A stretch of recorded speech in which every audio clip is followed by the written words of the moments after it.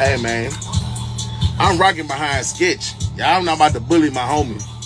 Fuck that. He came, I came clean with whatever he he do. You know what I'm saying? That's his sexual preference. I don't judge nobody. You know what I'm saying? I'm a straight man. He could be whatever the fuck he wanna be, but that's my homie, and I'm rocking behind that. You hear me? Y'all not gonna bully my boy. Nah, I don't H-Town, I don't Texas. None of that. You hear me?